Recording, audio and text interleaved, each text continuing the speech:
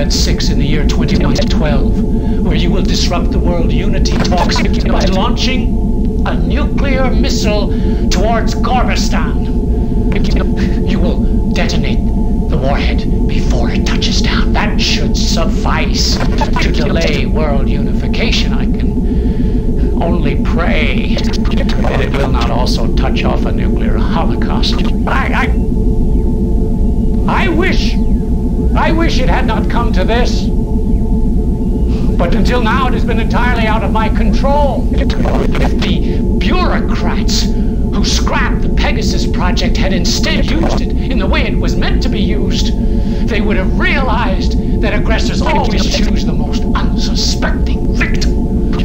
The Indians, the Africans, the Jews, the Swedes were all lulled into a sense of complacency before they were overpowered by their by their conquerors.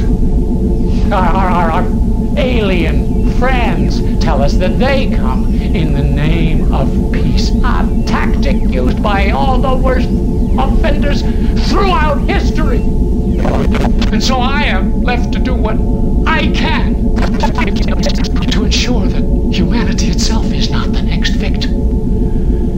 I'm sending you all back in history to rewrite our future, which we will not offer these creatures an engraved invitation to enslave us all. And if you fail,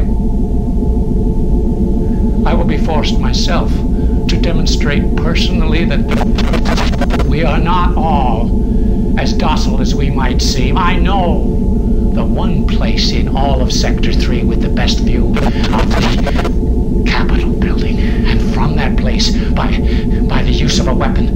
my own devising, I will assassinate the Cyrollan delegate myself. And if, God forbid, I should fail, one touch of the button on my remote detonator will be enough to end it all.